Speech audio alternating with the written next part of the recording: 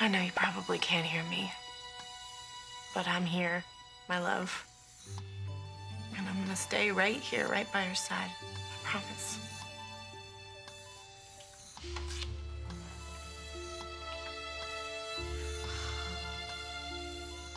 The wonders never cease. When you told me you were chasing a lead on EJ, I, I thought it would be a dead end. I thought so too. And it might still be. And with the extent of his injuries, they can't even check his fingerprints.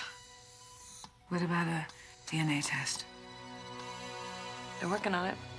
So, how did they do the DNA test? I got a sample from Susan. That must have been challenging, huh? Just being around that nut job is challenging. I would have scalped her if I had to, but luckily I just scalped her. Marlena doll. Do I even want to know? No, but you really should see this thing. She made a doll that looks like my mother as a wedding gift for them.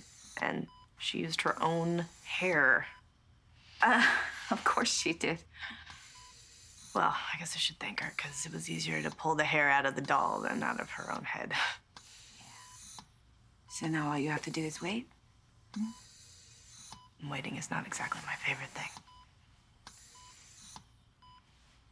I tell you what. You know this hospital has a less than stellar reputation when it comes to speed and accuracy, so I think we should look under the hood. What? Oh, Kate, we don't even know the extent of his injuries. I know, that's exactly my point.